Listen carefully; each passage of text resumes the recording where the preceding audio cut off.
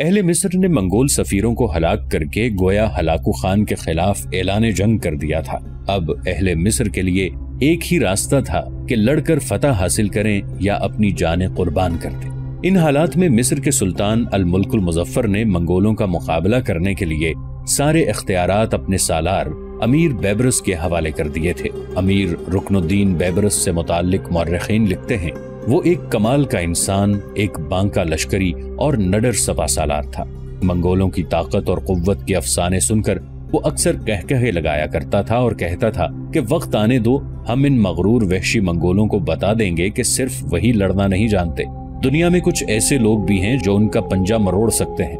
Mongol सफीरों को कत्ल करने के बाद मिस्र के सुल्तान मलिक मुजफ्फर ने अमीर रुकनुद्दीन बैबरस से वादा किया कि अगर वो मंगोलों को शिकस्त देने में कामयाब हो गया तो वो लश्करियों के सिपा सालार के अहदे के अलावा मिस्र का हाकिम भी मुकर कर दिया जाएगा। बहरहाल, अमीर रुकनुद्दीन बैबरस ने मंगोलों का मुकाबला करने के लिए जंग की तैयारियाँ शुरू कर दी थी।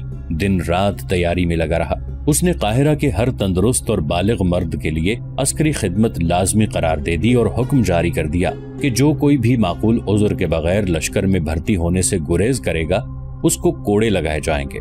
अहले काहिरा के अलावा रुकनुद्दीन बैबरस ने अपने लश्कर में उन पनागुजीन, तुर्कमानों, अरब बद्दुओं और दूसरे कबाइल को भी भर्ती करना शुरू कर दिया था, जो इससे पहले मंगोलों के हाथों नुकसान उठा चुके थे और ये लोग बड़े नडर और आला दर्जे के जंगजू थे, जिनकी शजात पर हर हाल में भरोसा किया जा सकता था। चंद ही दिनों में रुकनुद्दीन बैबरस के पास एक जर्रार लश्कर तैयार हो गया। इस लश्कर में ज़्यादा तादाद उन लोगों की थी जो मंगोलों के हाथों सताए गए थे या गुलाम बना लिए गए थे, या जो बिकते बिकाते मिस्र पहुँच गए थे और अब वो मंगोलों से इंतकाम लेने के लिए फन हरबो जरब में कमाल दर्जे की महारत हासिल कर चुके थे। दरअसल ये वही लोग थे जो मंगोलों के आसपास आबाद थे, जो उनके जंगी तरीकों से वाकिफ थे और मंगोलों की आँखों में आँखें डालकर बात करने की हिम्मत और जुर्रत भी रखते थे। जिन दिनों अमीर रुकनुद्दीन बैबरस काहिरा में अपनी जंगी तैयारियों में मसरूफ था, उन्हीं दिनों हलाकू फलस्तीन में कयाम किए हुए था कि उसे इत्तला मिली कि उसका भाई मंगू खान, जो उस वक्त मंगोलों का खाने आज़म था, वफात पा गया है। लिहाजा उसका जानशीन नामजद करने के लिए सारे मंगोल सरदारों और सरबराहों को आबाई दश्त में तलब कर लिया गया है। हलाकू खान को जब ये पैगाम पहुँचा तो उसने अपने आबाई दश्त की तरफ़ जाने का इरादा कर लिया। इस मौके पर उसके सिपा सालार कतबोगा और उसकी बीवी दकोजा खातून ने इसरार किया कि मुसलमानों के खिलाफ हमारी यलगार जारी रहनी चाहिए। रहा सवाल खान आज़म मंगू खान का तो वो अब मर चुका है। दकोजा खातून जो खलाकू खान की बीवी थी, बुनियादी तौर पर ईसाई थी और मुसलमानों की तबाही और बर्बादी चाहती थी। लिहाजा वो नहीं चाहती थी कि हलाकू खान वापस जाए। वो ये अज्म किए हुए थी कि हलाकू को मिस्र पर हमला आवर होना चाहिए।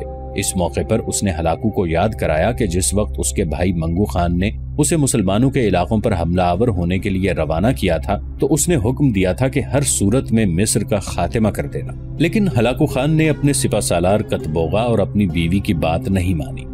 उसने वापसी का इरादा कर लिया। वो चाहता था कि अपने लश्कर का एक हिस्सा साथ लेकर जाए। उसने ये भी वजह पेश की कि इस वक्त मेरा वापस जाना ज़रूरी है, इसलिए कि इन दिनों रास्ते में घोड़ों के लिए खुराक की सूरत में घास मिल जाएगी और अगर मैंने वापस जाने में ताखिर की तो सरमा का मौसम शुरू हो जाएगा, घास खत्म हो जाएगी और रास्ते में मुझे दुश्वारियों का सामना करना पड़ेगा। बहरहाल, हलाकू ने वापस जाने का इरादा कर लिया और वापस जाते वक्त उसने अपने सिपा सालार कतबोगा से कहा, मेरे बाद इस इलाके की निगहदारी तुम्हारे जिम्मे है। जब तक मैं वापस नहीं आता, तुम यहीं रहोगे। कहीं पेशकदमी न करना। तुम्हारे मातहत मंगोलों का एक बहुत बड़ा लश्कर है। इसके अलावा आर्मीनिया और गर्जिस्तान के ईसाई भी हज़ारों की तादाद में तुम्हारे साथ हैं। लिहाजा उन सब के साथ मिलकर फतह किए हुए इलाकों की हिफाजत करना। कतबोगा ने हलाकू खान के हुक्म के सामने सर झुका दिया और सीने पर हाथ रखकर कहा कि जो फ़र्ज़ उसे सौंपा गया है, वो दिलो जान से उसे पूरा करेगा। इसके बाद हलाकू खान लश्कर का एक हिस्सा लेकर अपने आबाई वतन सहराए गोबी की तरफ़ रवाना हो गया। अब शाम और इराक मुकम्मल तौर पर उसके सालार कतबोगा की गिरफ्त में थे। कतबोगा हलाकू का नहायत काबिल एतमाद जर्नैल था और मुसलमानों के इलाकों को पामाल करने में उसने खास हिस्सा लिया था। वो एक शकील कल्ब इंसान था और उसकी बरबरीत के अफसाने सारे आलम इस्लाम में मशहूर थे। हलाकू खान के जाने के बाद उस कतबोगा ने अपने लश्कर के साथ एन जालूद के मकाम पर पड़ाव कर लिया था और ये मकाम फलस्तीन के मशहूर शहर नासिरा के करीब था। ये मुकाम उसके लिए बड़ा मुनासिब था, इसलिए कि वहाँ कयाम करके वो एक तरफ़ शाम और इराक पर अपना तसल्लुत मौसर तौर पर रख सकता था और दूसरी तरफ़ जब चाहे मिस्र की तरफ़ बढ़ भी सकता था। मिस्र में अमीर रुकनुद्दीन बैबरस को भी खबर हो गई कि हलाकू खान वापस अपने आबाई दश्त चला गया है। लिहाजा उसने एक ऐसा बड़ा फैसला किया जो उस वक्त किसी के वहमो गुमान में भी ना था। मिस्री तो ये ख्याल कर रहे थे कि वो मंगोलों के सामने अपनी सरजमीनों का दिफा करेंगे लेकिन इस मौके पर अमीर रुकनुद्दीन बैबरस ने ऐलान किया। हमारा लश्कर आगे बढ़कर हलाकू खान के सिपा सालार के लश्कर से नबरदाजमा होगा। उस वक्त रमदान के महीने का आगाज़ हो चुका था। बैबरस के ऐलान ने उसके लश्करियों को इस मुकदस महीने में मंगोलों के खिलाफ जंग करने की अफजल तरीन इबादत से सादत अंदोज होने का मौका फराहम किया। चुनाचे लोगों ने बड़ी खुशदिली से रुकनुद्दीन बैबरस के इस फैसले को कबूल कर लिया। लिहाजा रुकनुद्दीन अपने लश्कर को लेकर बड़ी तेज़ी से फलस्तीन में दाखिल हुआ। उन दिनों ईसाई दुनिया क्योंकि मुसलमानों के खिलाफ मंगोलों का साथ दे रही थी और बहरा रूम के किनारे किनारे नसरानियों के बहुत से किले भी थे, लिहाजा अपने लश्कर के कुछ हिस्से रुकनुद्दीन ने उन किलों के करीब ही मुतन कर दिए, ताकि उन किलों में जो मुसल्ला सलीबी जंगजू हैं, वो अपने किलों से निकलकर मुसलमानों के खिलाफ मंगोलों की मदद न कर पाए। रुकनुद्दीन बैबरस पंद्रह रमदान हिजरी छह सौ अट्ठावन और 25 अगस्त सन 1260 को एन जालूद के मकाम पर मंगोलों के सामने आया। कहते हैं कि एन जालूद के मकाम पर मुसलमानों और मंगोलों के दरमियान घुमसान का रन पड़ा। इस जंग की वजह से इतना शोर उठा कि अर्जो समा काँप उठे। अमीर रुकनुद्दीन बैबरस ने इस मार्के में हैरत अंगेज अस्करी सलाहियत का मुजाहरा किया और मंगोलों के साथ टकराने से पहले ही उसने लश्कर के चंद इंतहाई तरबियत याफ्ता दस्तों को घात में बिठा दिया। पहले अपने हल्के फुल्के दस्तों को उसने आगे बढ़ाया, उन्हें खूब फैला दिया। मंगोलों ने अपनी पूरी ताकत और कुव्वत से पहले उन मिस्री सवारों पर हमला किया, उन्हें पीछे धकेलते हुए अंधाधुंध आगे बढ़ने लगे थे, और ये सब बैबरस की तजवीज के मुताबिक हो रहा था। उसने पहले ही अपने सवारों को ताकीद की थी कि वो जमकर मंगोलों का मुकाबला न करें, बल्कि आहिस्ता आहिस्ता पीछे हटना शुरू हो जाए। चुनाचे, उन्होंने इसी के मुताबिक अमल किया। जब मंगोल उन पर हमला आवर हुए तो वो आहिस्ता आहिस्ता पीछे हटना शुरू हो गए। यहाँ तक कि मंगोल वहाँ आ गए, जहाँ रुकनुद्दीन बैबरस ने अपने लश्कर का एक हिस्सा घात में बिठा रखा था और वो हिस्सा मंगोलों पर हमला आवर होने के लिए बेचैन और बेताब था। यकायक घात में बैठा हुआ वो लश्कर तकबीरें बुलंद करता हुआ निकला और मंगोलों पर टूट पड़ा। इससे कबल के मंगोल अपने आप को संभालते मिस्र के वो लश्करी जो पीछे हटते थे, वो भी बेमिसाल जरूरतमंदी का मुजाहरा करते हुए मंगोलों पर टूट पड़े हलाकू खान के सालार कतबोगा ने अपनी तरफ़ से पूरी कोशिश की कि अपने लश्कर को संभाले, लेकिन उसकी सारी तदबीरें नाकाम हो गईं। मुसलमानों के तेज और तुंद हमलों ने मंगोलों के लश्कर के परखचे उड़ा दिए मंगोलों के लश्कर में जो गरजिस्तानी और आर्मीनिया के ईसाई दस्ते थे उनका सबसे बुरा हशर हुआ। मुसलमान हमलावरों ने उन्हें मुकम्मल तौर पर रौंद कर रख दिया था। थोड़ी ही देर में सुल्तान रुकनुद्दीन बैबरस ने अपने लश्कर के साथ मंगोलों का इस कदर कत्लेआम किया कि उनकी ऐसी कमर तोड़ी कि उन्हें तकरीबन रौंद कर रख दिया और उन्हें ऐसा चरका लगाया कि पिछले 40 सालों में उसकी नजीर नहीं मिलती थी। मंगोलों का सिपा सालार आला कतबोगा इस जंग में सुल्तान रुकनुद्दीन बैबरस के हाथों गिरफ़्तार हो गया था। ये दरिंदा सिफत मंगोल सालार मुसलमानों पर बेपना मजालिम तोड़ चुका था और किसी रियायत का मुस्तक नहीं था। उसे जब रुकनुद्दीन के सामने पेश किया गया तो वो रुकनुद्दीन को मुखातिब करके कहने लगा, मुसलमानों ने मैदान जीत लिया तो क्या हुआ? क्या मंगोलों की घोड़ियों ने बच्चे जन्ना छोड़ दिए हैं? क्या उनकी औरतें बांझ हो गई हैं? मेरे मरने के बाद मंगोल शहसवार इस शिकस्त का बदला ज़रूर लेंगे और तुम्हें और तुम्हारे मुल्क को अपने घोड़ों की टापों से कुचल कर रख देंगे। रुकनुद्दीन बैबरस मंगोलों के सिपा सालार के इन अल्फाज पर तंजिया मुस्कुराया। उसका सर काट के रख दिया और उसका कटा हुआ सर नुमाइश के लिए काहिरा भेज दिया गया। इसके साथ ही जो बड़े बड़े मंगोल सालार जंग में गिरफ़्तार किए गए थे, उनके पाओ में बेड़ियाँ पहनाकर काहिरा भेजा गया, जहाँ उनको गलियों में फिराकर तहे तेग कर दिया गया। इस तरह मंगोल, जिनके मुतालिक मशहूर था कि कोई उनको शिकस्त नहीं दे सकता, सुल्तान रुकनुद्दीन बेबरस ने उन्हें शिकस्त देकर उन्हें उनके इबरतनाक अंजाम तक पहुँचा दिया। एन जालूद की इस जंग का शुमार तारीख की फैसला कुन जंगों में किया जाता है। अगर इस जंग में मुसलमानों को शिकस्त हो जाती तो दुनिया में उनके लिए कोई जाय पना न रहती और उनकी तहजीब और सकाफत, तमद्दुन और तारीख बिल्कुल बर्बाद हो जाती। चुनाचे तमाम आलम इस्लाम में इस फतह पर बेपना मुसरत का इजहार किया गया और शुक्राने की नमाजें पढ़ी गईं। हलाकू खान को अपने सालार कतबोगा की शिकस्त की खबर उस वक्त पहुँची जब वो अपने आबाई दश्त सहराय गोबी की तरफ़ जा रहा था और उसने तहिया कर लिया था कि सहराय गोबी से पलटकर वो मिस्र पर हमला आवर होगा और मिस्र को नीस्तो नाबूद करके रख देगा। दूसरी तरफ़ अमीर रुकनुद्दीन बैबरस ने एन जालूत में मंगोलों को शिकस्त देकर उनकी कमर तोड़कर रख दी थी। लेकिन उसका काम अभी नामुकम्मल था। इसलिए कि मंगोलों को एने जालूत में शिकस्त देने के बावजूद वो देख रहा था कि हलब हम्मात दमिश्क और इस तरह और बहुत से दूसरे मुसलमानों के शहरों में मंगोल दनदनाते फिरते थे। अब रुकनुद्दीन बैबरस अपने लश्कर के साथ हरकत में आया। एक तूफानी यलगार में वो शाम के मुख्तलिफ़ शहरों में जो मंगोल थे, उन पर हमला आवर हुआ। उन्हें ताबड़तोड़ और लगातार शिकस्तें दी और उनको राह फरार इख्तियार करने पर मजबूर कर दिया। अपनी इस तूफानी मुहिम में बेबरस ने उन तमाम गद्दार मुसलमानों का भी खात्मा कर दिया, जिन्होंने मुसलमानों के खिलाफ हमला आवर हलाकू खान से ताउन किया था और उसकी कामयाबियों में उसके मुआविन साबित हुए थे। इस तरह चंद दिन के अंदर अंदर रुकनुद्दीन बैबरस ने शाम के तमाम शहरों से मंगोलों का सफाया कर दिया। वो ये भी जानता था कि अनकरीब हलाकू पलटेगा और मुसलमानों से इंतकाम लेगा। लिहाजा वो भी अपने लश्कर की तादाद बढ़ाना चाहता था। लश्कर को मजीद मज़बूत और मुस्तहकम करना चाहता था, लिहाजा अपने कुछ सालारों और लश्करियों को उसने अर्ज़ शाम में ही छोड़ा और खुद वापस काहिरा की तरफ़ चला गया। काहिरा में उन दिनों एक नाखुशगवार वाकया पेश आया। वो ये कि जिस वक्त अमीर रुकनुद्दीन बैबरस ने शाम और फिलिस्तीन से मंगोलों का कत्लेआम करके उनको निकाल बाहर किया तो मिस्र के सुल्तान मलिक मुजफ्फर ने एक शख्स बदरुद्दीन लुलू के बेटे अलाउद्दीन को हलब का हाकिम मुकर कर दिया। चूँकि बगदाद पर हमले के वक्त बदरुद्दीन लुलू ने हलाकू का साथ दिया था, लिहाजा ये सूरत हाल देखते हुए बहुत से उमरा मलिक मुजफ्फर के खिलाफ हो गए, लिहाजा उन्होंने उसका खात्मा कर दिया। और उसकी जगह रुकनुद्दीन बैबरस को अपना सरबरा और सुल्तान मंतखब कर लिया। इस तरह सत्रह जीकाद हिजरी पाँच सौ पचासी सन बारह सौ साठ को रुकनुद्दीन बैबरस मिस्र का सुल्तान बना। उसकी तख्त नशीनी के ऐलान पर अहले मिस्र ने बड़े इतमान और मसरत का इजहार किया। इसलिए कि रुकनुद्दीन बैबरस ने पहले मंसूरा और गजा में फ्रांसीसियों के खिलाफ कामयाबियाँ हासिल करते हुए मिस्र की सियासत में नुमाया मुकाम हासिल कर लिया था और अब एन जालूद में मंगोलों को अजीम शान शिकस्त देकर वो तमाम आलम इस्लाम बिलखसूस अहले मिस्र की आँख का तारा बन चुका था चुनाचे जब उसे सुल्तान बनाया गया तो अहले मिस्र ने वालेहाना जोशो खरोश से न सिर्फ़ सुल्तान की हैसियत से उसका इस्तकबाल किया, बल्कि उसकी दराजी उम्र की दुआएँ मांगी गईं। दरअसल एन जालूद की फतह ने मिस्र और शाम में रुकनुद्दीन बैबरस की हर दिल अजीजी को औज कमाल तक पहुँचा दिया था।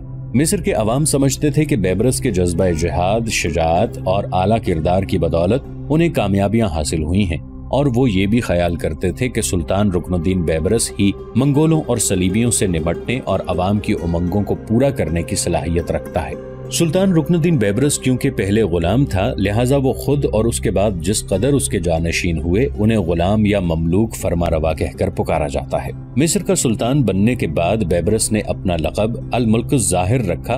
चुनाचे तारीख के औराक में सुल्तान को ज़्यादातर अल मुल्क ज़ाहिर के नाम से ही याद रखा गया है। मिस्र का सुल्तान बनते ही रुकनुद्दीन बेबरस ने सल्तनत के अंदर तमाम मफासद का कला कमा करके रख दिया। जो इससे पहले पैदा हो चुके थे और खसूसियत के साथ मलिक मुजफ्फर के अहद हुकूमत में पैदा हुए थे। चुनाचे उसने किसी ताखीर के बगैर हर किस्म के नाजायज टैक्सों और महसूलात को खत्म कर दिया। तमाम शराब खानों, कहबा खानों और किमारबाजी के अड्डों को सख्ती के साथ बंद करवा दिया। तख्त नशीन होने के बाद सुल्तान बेबरस के सामने अहम मसला शाम को मंगोलों के खतरों से महफूज रखना था, क्योंकि खदशा था कि वो एन जालूद की शिकस्त का बदला लेने के लिए किसी भी वक्त शाम पर हमला आवर हो सकते हैं।